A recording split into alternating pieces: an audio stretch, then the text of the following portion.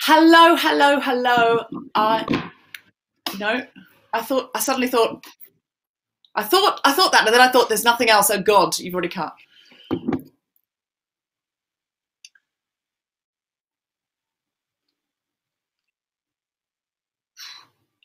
Hello, hello, hello. Oh. Okay. Thank you.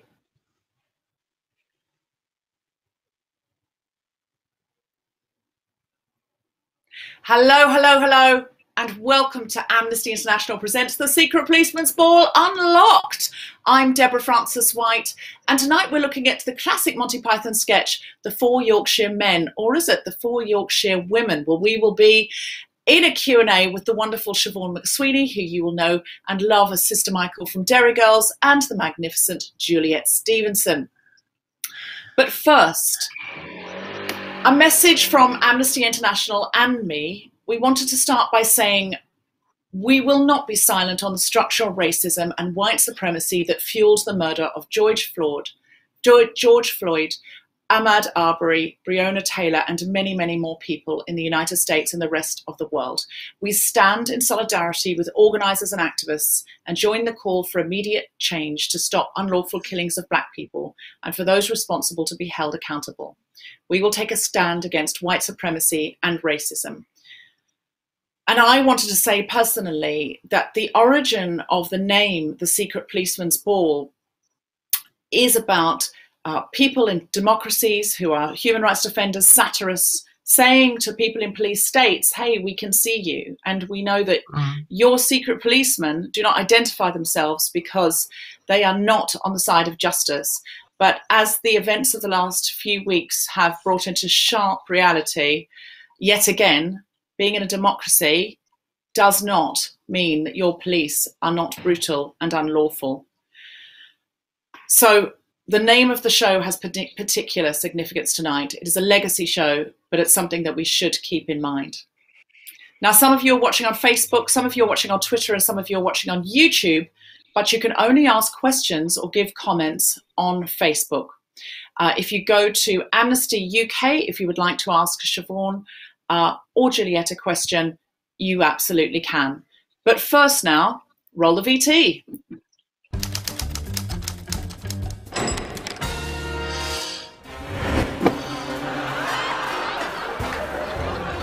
Amnesty's Secret Policeman's Ball was established in 1976 and it raised funds and awareness for human rights. This is your 9 o'clock alarm call! 44 years later and 11 balls later, these events are now the stuff of legend. Good God! Famous for bringing together unique combinations of performers and reimagined comedy sketches. They have been central to building the world's most powerful and inclusive human rights movement, if we do say so ourselves. Now more than ever, we need to come together and recognise our collective power to promote and protect human rights. So Amnesty have kindly opened up their comedy archives for me. Step with me into the Narnia wardrobe.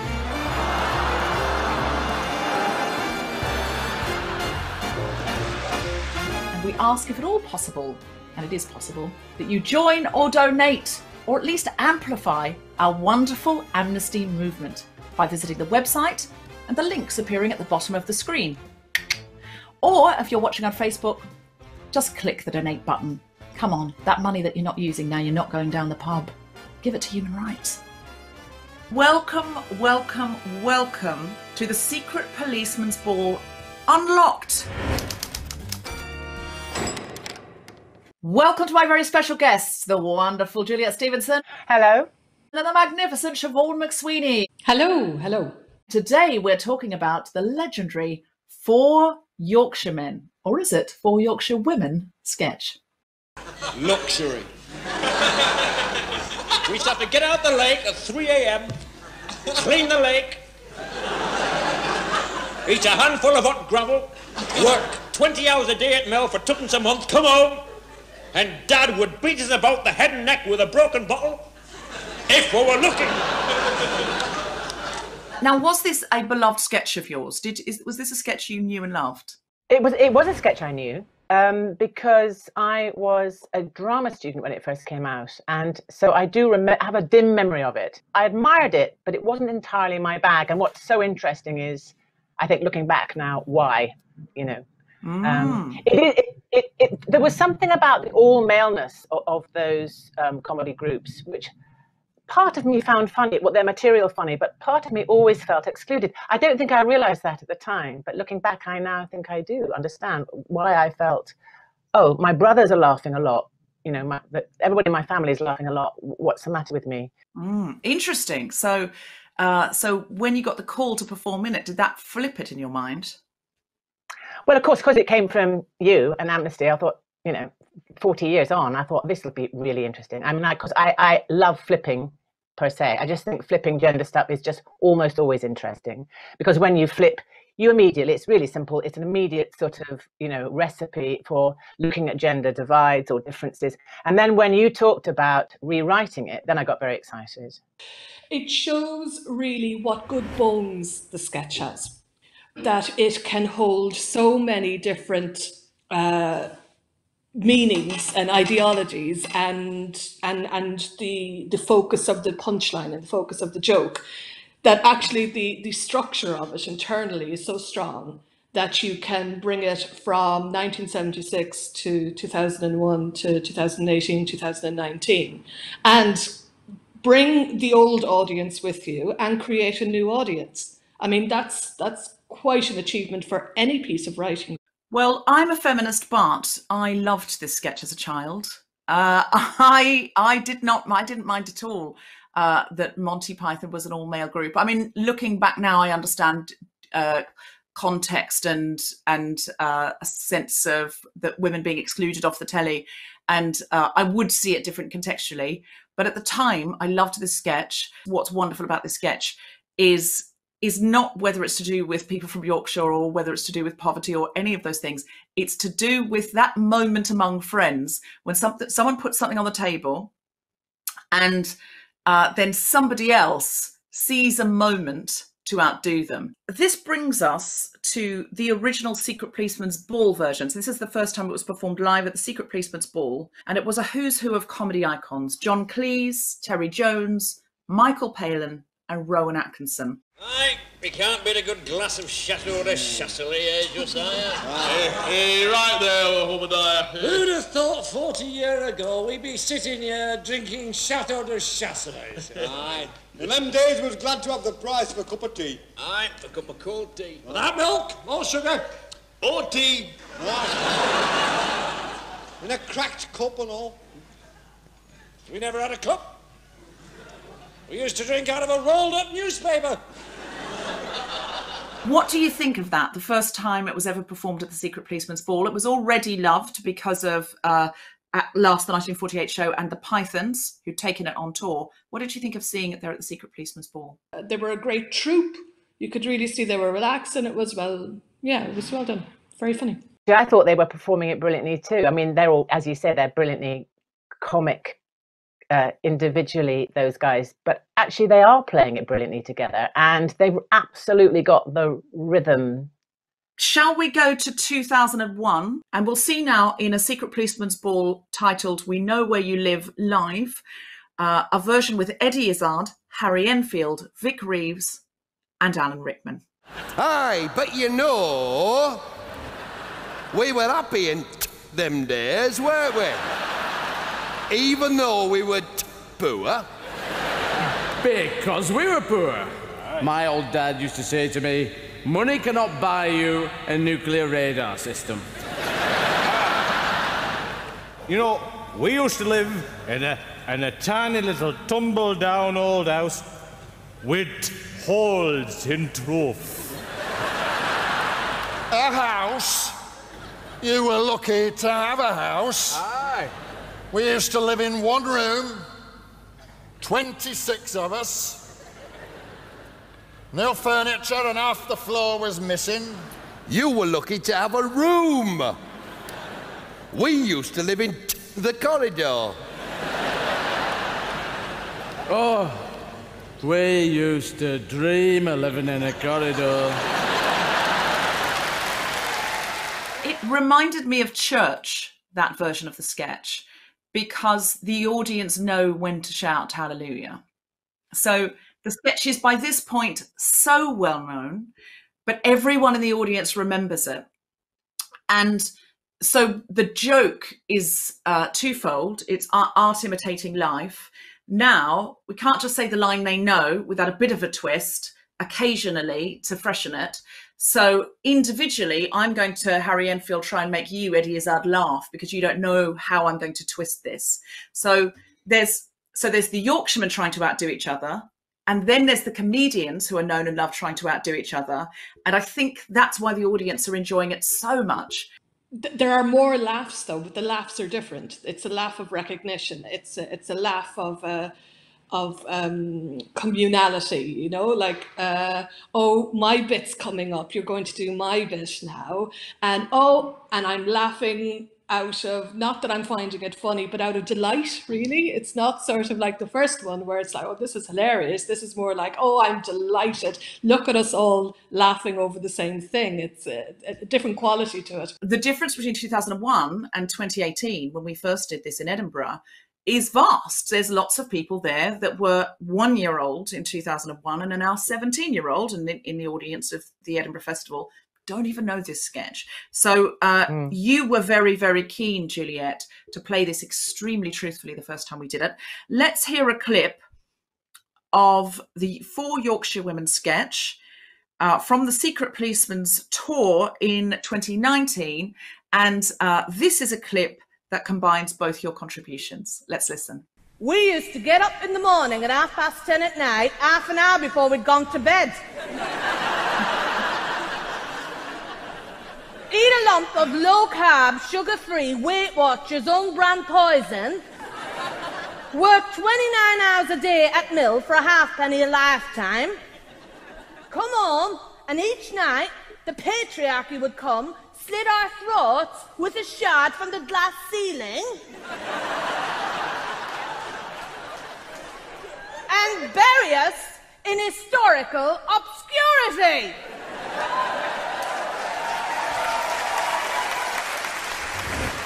You were lucky. We lived for three months in the gender pay gap.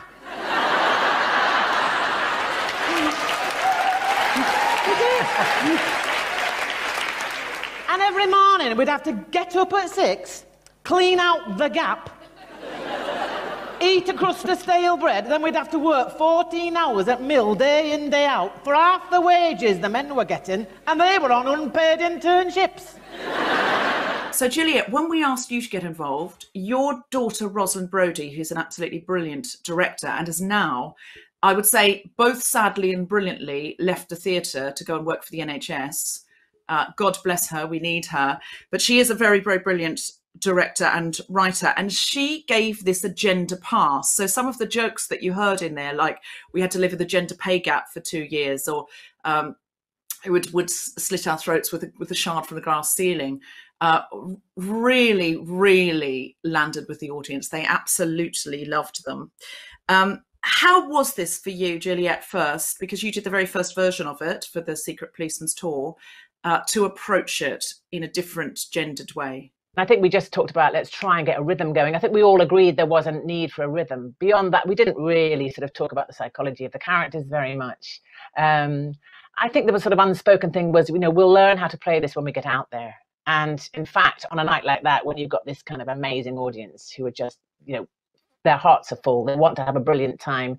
They, you know, they pretty much love everybody there. And so it's it's a winner really. So we went out there, and it really came together out there on the stage. We we I don't think we had any sense that we had kind of over rehearsed it. Let's say there was no danger of that. I do remember though you taking quite a lot of control of the rehearsal process and others in the group then yes anding that. I I was blown away by how connected you were in rehearsal and how much of a similar language you shared and how everybody agreed we absolutely play the truth of this and we do not play out to them and i yeah. remember thinking oh i hope that works because it sounded like you were going to play it like a subtle piece of chekhov and it's this big famous over the top classic sketch and my God, did it work? And it it worked partly because a lot of the young people had never seen that sketch before, and a lot of older people hadn't seen it for years. I was very nervous about my accent. Um, I was worried that it may not be convincing. Um, so there, there was a moment where, where Rosie just sort of stopped after a particularly uh, ear bleeding destroying of some dreadful up north accent that I'd done and sort of looked at us and we all and she went, Are, are you actually from Yorkshire? That is my favourite moment, I think, from any of the four Yorkshire women. Juliet, anything, any lines or moments that stand out for you? There's a gorgeous little little moment though, which we haven't seen today, when when someone says, "Well, we you were lucky to have a whatever it is. We all we had was a, a box of Tampax in the middle of the road," and then there's a pause, and somebody says, "Super Plus," and um, the idea that you know the size of the Tampax that you insert in your vagina might indicate that it was a slightly bigger box. of course, that's probably not true. You know, the box is probably a standard size, but the idea, and then the, the joy. I mean, I'm I'm way older than you guys. I'm you know in, in my early 60s. I'm 63. You know, the, the idea that we can be on a stage making jokes about you know standard, super or super plus tampons that you insert in your fat is such a joy. I cannot tell you what a joy that is. You know, Wow. that, that, that, a line, uh, that one word, super plus, in relation to a tampon, can bring the house down. Is is you know, I'm old enough now to appreciate. It's it's taken me 40 years to get to that point. It's just so blissful now where women's comedy has gone. You're both Amnesty supporters. What is it about Amnesty International and the Secret Policeman's Ball heritage that draws you in to want to do this? I know you're asked to do a lot of different things. What makes you want to come here and give your time to this? I mean, you know, why do we need oxygen? I mean, we, we there couldn't be a more important time to need an organization with the status and the gravitas and the seriousness and the sort of moral weight of amnesty at a time, you know, when we're seeing human rights, um, you know, destroyed, undermined all over the world. What I particularly love about Amnesty is that they knew from a very early time that if you have a platform, you have a voice, and if you have a voice, you have an obligation to shine a light. We have an obligation to do what we can. And mm. Amnesty are, are brilliant for that. One thing that really draws me to be the creative director of these secret policeman events in the 21st century is how much artists are censored around the world and how much we can stand in solidarity with them and draw attention to that because a lot of the time the people amnesty are trying to get out of jail are people who have spoken up. And can i ask you a question? It's not a competition it's not. But desert island discs you can only take one amnesty international secret policeman's event uh, for yorkshire men or for yorkshire women sketch with you to that desert island, which do you take? In the spirit of female solidarity, I will obviously pick my own.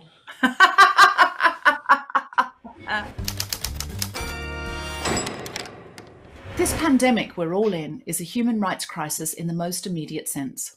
And Amnesty International UK are campaigning to protect everyone through this. If you'd like to support us, and you know you would, please visit amnesty.org.uk forward slash join hyphen unlocked or amnesty.org.uk forward slash donate hyphen unlocked. Or if you're on Facebook, you can click that donate button right now to help build a world we want to live in together. Yeah, it is. I'll be back here this Wednesday at the same time, 7:30 p.m. on Facebook, joined by the wonderful Meera Syal, Sanjeev Bhaskar, Kulvinder Ghir, Nina Wadia, and Nish Kumar. And you can also watch the full-length ball We Know Where You Live live, 7:30 p.m. this Friday, 5th of June.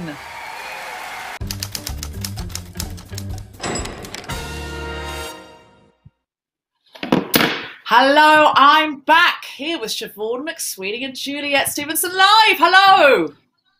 Hello. Hello. Hello. This is how we make television now, guys. We're we're all plugged in at home.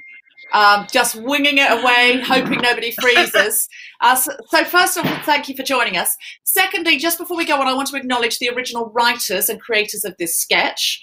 The Four Yorkshiremen was originally written for the 1967 show, which was called At Last, the 1948 show, which was a joke about how long it took the BBC to commission anything, and that's that's changed loads, hasn't it, guys? Um, Yeah. it hasn't. Um, so it was written by the four performers who originally did it. This is pre-Python. People think it's Python, but it's really pre-Python. Um, John Cleese, Graham Chapman, Marty Feldman, and the wonderful Tim Brooke Taylor, who sadly died of COVID 19 in April. So we send our our great rest in powers to him. What uh, what an incredible performer and one of the originators and creators of this sketch. Um, so we want to thank all the writers and performers and to show a particular respect to those who've sadly passed away. Um, so let's see if we can get some questions coming in. Firstly, uh, while I'm waiting for a question, Siobhan and Juliet, how was that to watch back? Did anything else occur to you? I mean, when you were uh, watching it, I think we've got to- Oh, sorry. uh, Just quickly, how how um, maybe is it true? Do you think do you think it's true that the test of a really great sketch is that it will can can move from you know one era to the next to the next and, and resonate differently every time? It just struck me so much that that's the case. I thought it's so fun hearing our version, the kind of women's version, the gendered version, um, sort of so many years, you know, forty years later or whatever and then thinking, you know, what will it, what will this sketch? I'm trying to imagine what the sketch will be in another 40 years' time. You know, it would be so fun, or even Yeah. another 10 years' time. It'll just be so. This this sketch will will you know presumably go on and on and on. It'll just be so great to see how it morphs, you know, from one era to another, and people rewrite it and twiddle with it accordingly.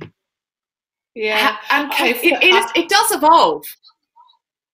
Go on, Sean. It, do- it, it it does evolve, as I said in the in the VT. It has good bones, and any good writing can sort of change to you know, not comparing it to Shakespeare, but people drag that out for whatever stuff is happening uh, at the time, and it can adapt. Any good piece of writing can sort of that it's in. Um, I must admit, when I saw the VT, uh, I thought, uh, look at all those people beside each other, uh, sharing a table and sitting in a theatre, sitting in Wembley, and my heart ached watching that. And I think that. Uh, regard, even though we know all these sketches from television, all those performers uh, including the three you see in front of you now, uh, we all have our roots in live performance. And the idea, the, the only reason it's live is because you have people in a room breathing the same air and living with you. And it really broke my heart thinking about that. Yeah, I hear that. We have a question from a viewer, um, which is what sketch do you have in your sights next? If we are luckily allowed out and allowed to assemble again and we're allowed to do another secret policeman event, what would you like to take on? Any classics or any any favourite little ones that you've got that you love? No, I'm. Hello, can you hear me? I can, yes. All right, no, the, the, the sound sounded a bit different there. Apologies for that. Uh, no, I am a, an unimaginative meat puppet. I am happy to do whatever I am told to do because uh, with with good writing, you'll always make it funny. I would love to. Well, I, I'd love to um, see what we could do with a dead parrot sketch from Monty Python. Oh Because yes, dead- of course. Do you remember the dead parrot sketch? You know, where the guy buys a parrot from a pet shop and he goes back in and, and, and it's dead and he goes back in and um, the pet shop guy can't apparently see the problem even though the parrot is lying mm-hmm. on the bottom of the cage, legs in the air in rigor mortis situation. And it's all about language. So the, the guy is trying to say, you know, the whole thing about it's a late parrot and it's it's an ex parrot. The whole thing about mm. language and which would which would sort of I'd love to see how that would work now with the whole thing of spin, you know, and people mm. using language to I'm deny realities. Ex- that's exactly what I thought. I thought it's very quite Orwellian. It's like when the government says no, it isn't. It's like that sketch in um, that moment in Thirty Rock where the, the they're in a government building and the roof is leaking, and someone says leaking, and he says, "No, we've looked into it, it's not," and it's like literally Yeah. dripping on him, and it's like that's Yeah, what the Dead yeah, Parrot yeah, sketch says yeah. about you know in terms of the satire of human rights. I've got another question coming in. What a pandemic version of this sketch look like? Oh, of, of the four Yorkshire men. What would a pandemic version of the four Yorkshire men or women look like to you? I think it's post lockdown where, um, you know, while I was living with, uh, I was living with four flatmates. I didn't like any of them. Flatmates, you were looking. Oh, I was sequestered You were alone. lucky. Oh, I was stuck in an hole by myself with no toilet paper because they'd all bought it up. Or alternatively, you know what? I'm haunted. I'm very haunted by the competitiveness of lockdown. So if, if I see Mm. one more, you know, post saying I've learned Chinese, I've you know I've written my novel, I've, I've, and I'm thinking, fuck, I haven't done anything. I've sowed a few carrot seeds, and um, I, I can't think what I've done.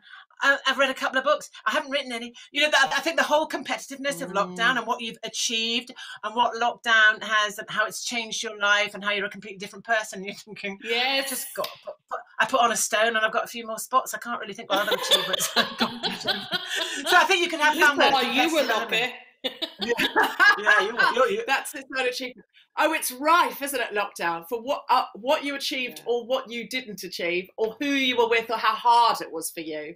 Uh, Either uh, how what hard it was, or how, or how, or how you spun it into something you know extraordinary and life changing. Yeah. completely, what- what you completely. did. We have to make we have to make art out of everything. Today is officially the first day that I'm technically allowed out as somebody who's shielding, and today was the worst day in eleven weeks, ten weeks of lockdown for me, Uh, because Why? of the whole like, oh, I can go out now. Oh, damn it! I can't be relying on the excuses. Go, oh, you're lucky. You're lucky. Are you there? Mm. You there? You can go out. You and can have your social go distance. out. You can go out, but should you? That's my question. I'm just going to get in Oh, another yeah. question. Oh yeah. For the performers, was there? A, did it feel like a lot of pressure recreating such a famous sketch on stage? Okay, so this is one for you for you two, uh, uh, not for me who did the links on the night.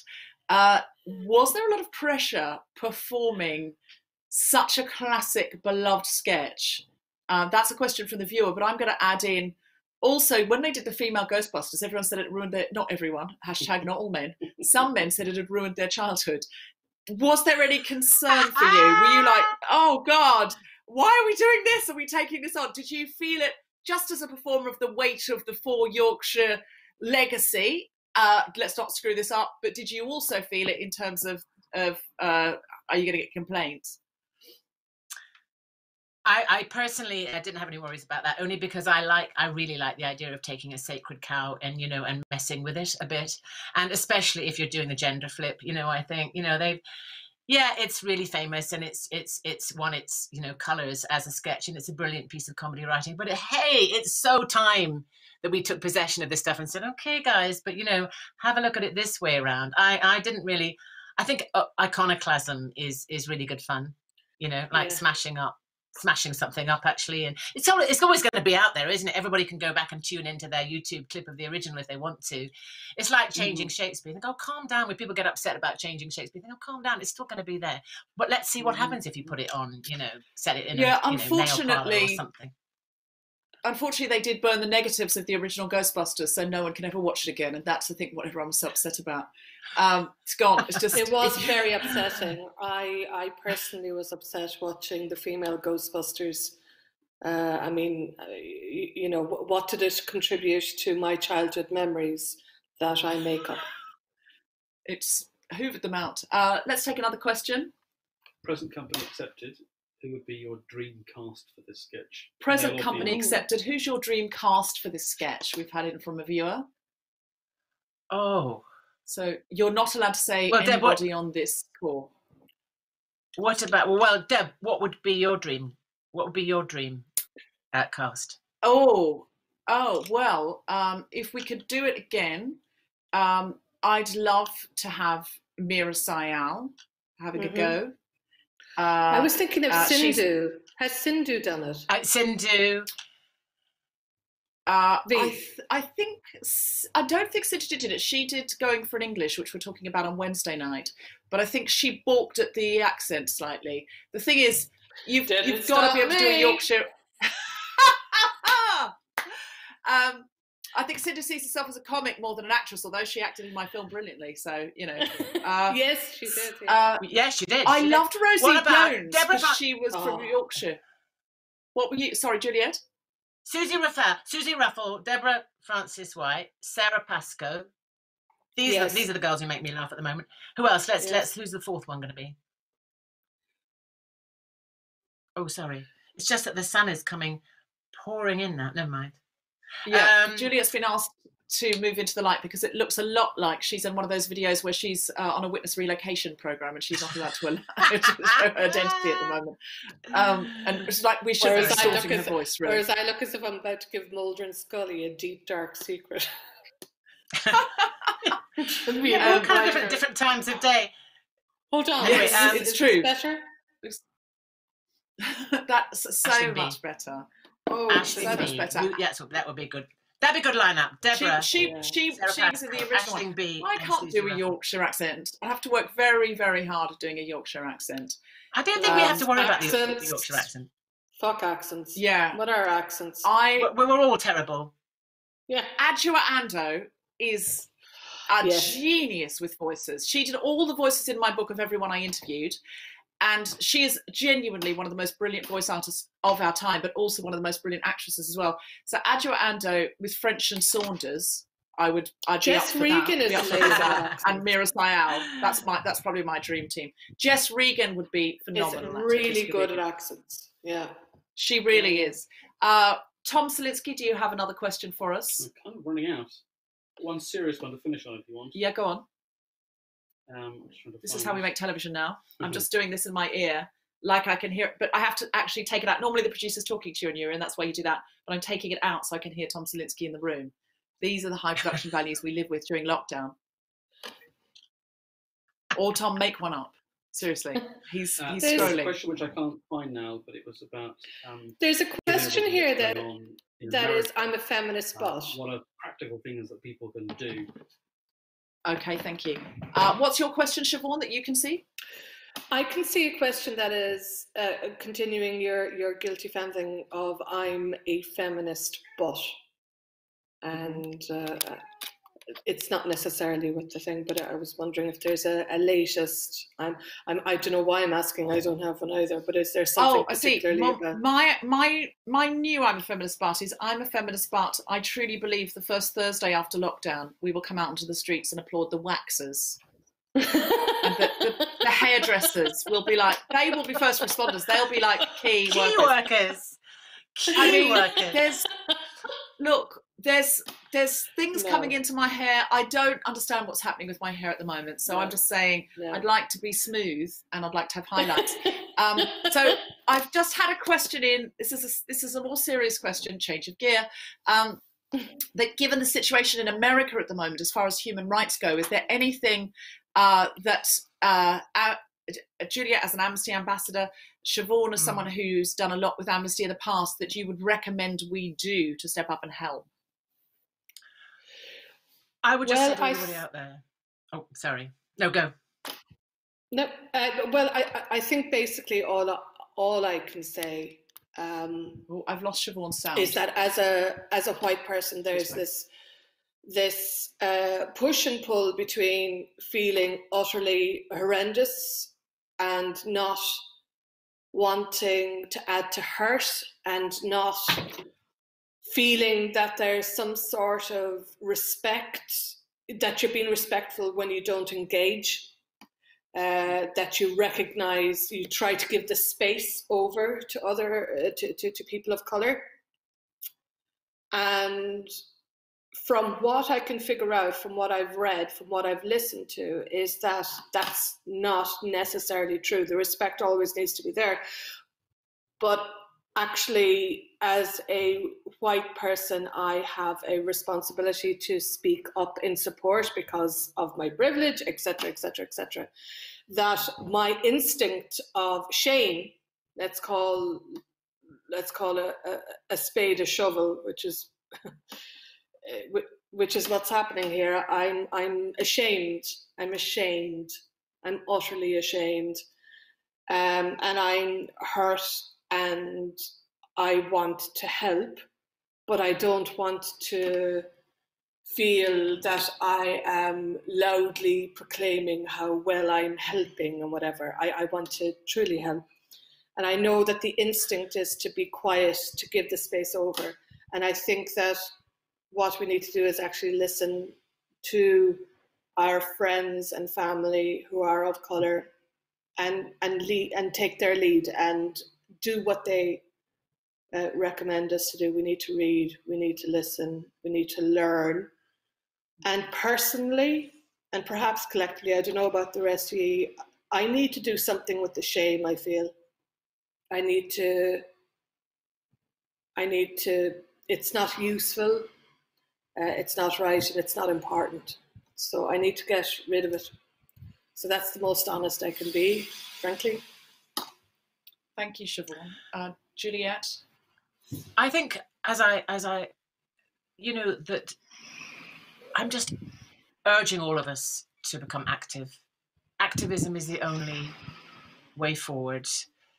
It's astonishing after so many examples of police brutality, white police brutality to the black population in the United States and in this country as well. Let's let's remember, you know, that it's no longer uh, left to that community to fight for themselves. It is an international issue and I hope that all of humanity comes forward on this one. And I would just urge everyone, as always, to if, if you know millions of people must be sitting around the world seeing this horrendous event and what it means, and it's happening at a time when those who are governing us, I mean, happening. The unique thing about this this this historical moment, I think, is that we have, you know, America has a, as a president in power who is himself so overtly racist, you know, slash white supremacist that they have not got the support of Washington necessarily in this. And so it has to be a popular movement. And actually, historically, change has only happened from the ground, I think. You know? So I would say join, join.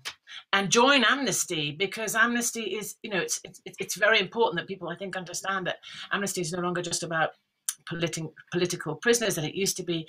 Amnesty are, are, are fighting for these human rights issues in all forms all over the planet, all over the, the world. And it's it's a it's a you know join Amnesty or join something, but but join up and let's all make our voices heard. Yeah. Um, I agree, and I and let this I- momentum let this momentum move. You know, let this momentum keep momentum going. not stop. Yeah. Sorry.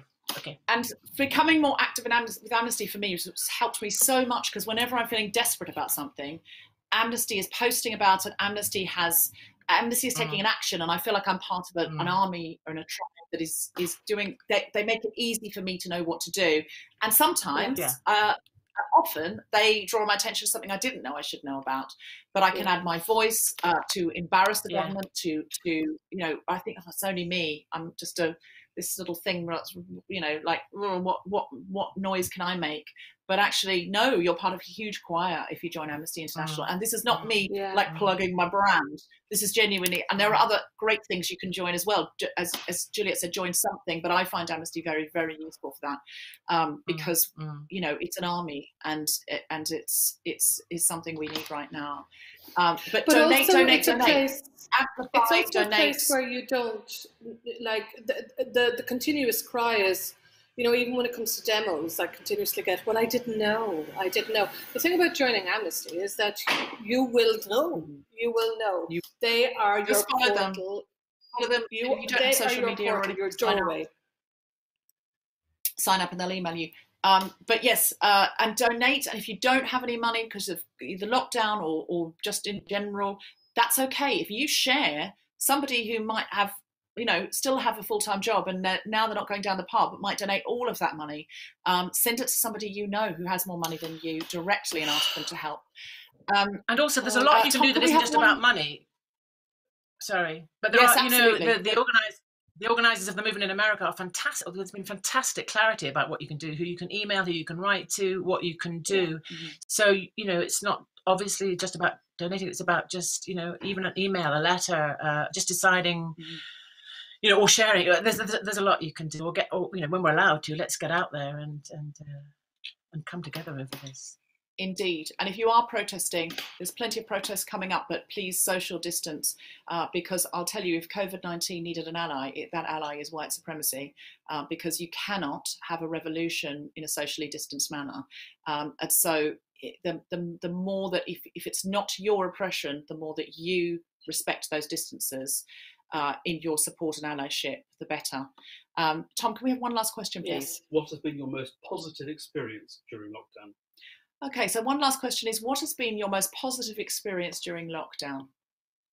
Um, this would have to be up there for me. Um, this has been lovely, and I'm really and I loved doing the video with going for an English, uh, the, the going for an English crew uh, from Goodness Gracious Me and Nish Kumar. So I'm very very excited about Wednesday. That was great because it was a reunion of people who hadn't been back in the same room, um, and I use room metaphorically. I mean on the same Zoom uh, for a while. So that was really really exciting for me.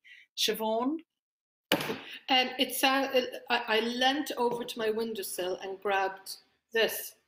Now, I grew this from seed. Yes. Wow. Yes, don't. Uh, yes, thank you. Stop intimidating Juliet with your gardening. She just said Darling, she's feeling is it a tomato plant? I can't, is it marijuana or tomato? I can't see. Oh, Oh, who it's tomato, knows? is it? It's tomato. uh, hopefully. We're live for I amnesty. got- It's not marijuana. Oh, sorry. Sorry. Sorry. sorry. Um, it's definitely tomato. Uh, but the thing Tomato. is, is that they, these seeds were given to me by a friend that I know from home who posted over a big, huge jiffy bag of seeds for me. It's really, I've like got the most wonderful seedlings. I'm killing them all. This is the poor little fella that seems to be surviving. God bless him. Um, and I think it's not so much the seed, it's the fact that somebody thought to, it, it put time into giving me some seeds, checking up on me, knowing that I think our innate kindnesses are stronger than our innate hatreds.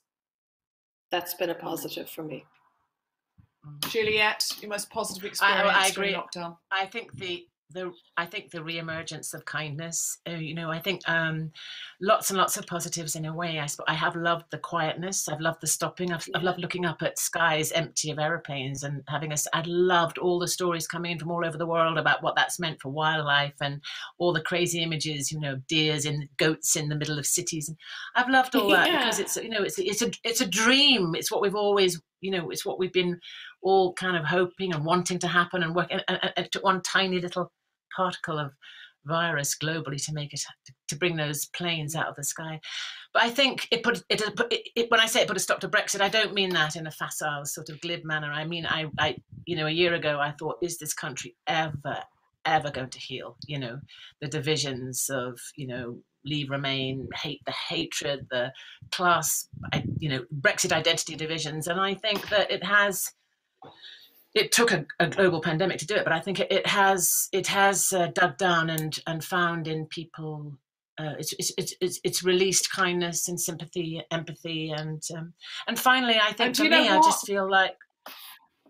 Oh, no, just quickly that I think I feel as though it's become very clear to me what's important and what's not important, and my people, you know, the the, the people people I love, family, friends, old friends I haven't seen, all sorts of people have come into my mind and I've made contact with them and said, listen, you know, people I haven't seen for 30, old school friends, I don't know, people who are part of my life. And Yeah. um, I mean, I've done lots and lots of fundraising and stuff for the charities that I love and support, but also just in my life, just really working harder at at loving people and working harder at kindness and love. Just being better at it, trying to be better at it. Um, They're really, Lovely. really lovely answers. Siobhan McSweeney and Juliet Stevenson, thank you so much for coming and joining Amnesty on stage uh, in our recorded video and also tonight live answering the viewers' questions. On Wednesday night at the same time, we will be back here with the Goodness Gracious Me gang and Nish Kumar talking about uh, originally doing that sketch for Amnesty, the history of the sketch, but also recreating it in Edinburgh when Nish Kumar got to live that dream of being in the sketch he saw as a child, which inspired him to do comedy. Um, and thank you so much to people who have already donated tonight. Uh, if you haven't donated, but you can afford to, we would really appreciate it. Anything at all is going to help with human rights at a time when so much funding has been diverted necessarily uh, to the coronavirus. Uh, but also, if you cannot afford to donate, please amplify, share tell someone else who might be able to donate. Um, Friday night, uh, we will be back with uh, uh, the Wembley Arena show. Oh, the cat's just walked on the laptop. I could be here, I could not be here now. I don't know. It might have, might have just all, all exploded. Um, we make television now. Uh, if Graham Norton's no better, watch him. He's the same. Um, uh, so, uh, so yes, uh, we, we're going to be showing the Wembley Arena show on Friday night. It's an absolute classic, classic Secret Policeman's Ball. We know where you live live. Uh, so tune in for that as well and tell all your friends about these two events coming up on Wednesday and Friday and share this one with them because we know they'll want to see it. Thank you so much for supporting Amnesty tonight in watching this. Uh, we hope it's cheered you up in a week of uh, quite horrendous news and we will keep defending human rights together no matter what happens. Thank you so much, Juliet Siobhan, and thank you to everyone watching. I've been Deborah Thank Frances you White. so much. pleasure. Good night. Pleasure. Good night.